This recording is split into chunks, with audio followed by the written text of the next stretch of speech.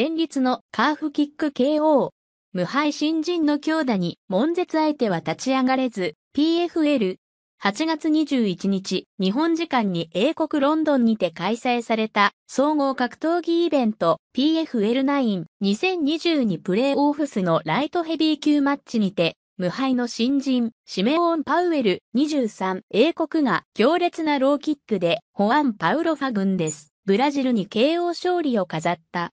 動画、戦律のカーフキック KO。相手はモンゼツダウン。パウエルは昨年8月にプロデビューした期待の新人。キャリア6戦全勝で5フィニッシュ 3KO に1本と決定率も高い。対するファグンデスは、ブラジル MMA、シュートブラジルのライトヘビー級王者。キャリア7戦全勝で、パウエルとの無敗対決に挑んだ。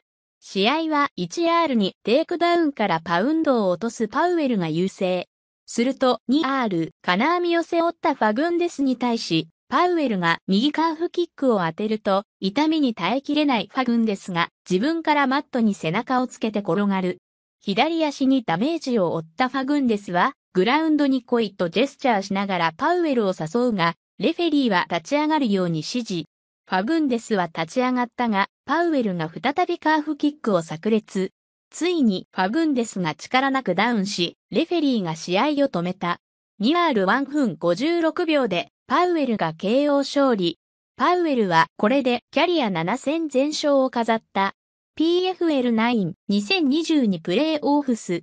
8月21日、日本時間英国、ロンドン、ライトヘビー級、シメオン・パウエル、英国、KO2R1 分56秒ローキック、ホアン・パウロ・ファグンです。ブラジル、勝者選手データ、2022年8月23日現在、シメオン・パウエル、23歳シミオン・パウエル英国、身長。196センチメートル、階級。ライトヘビー。戦績。7勝。4KO に1本無敗、タポロッチー3勝。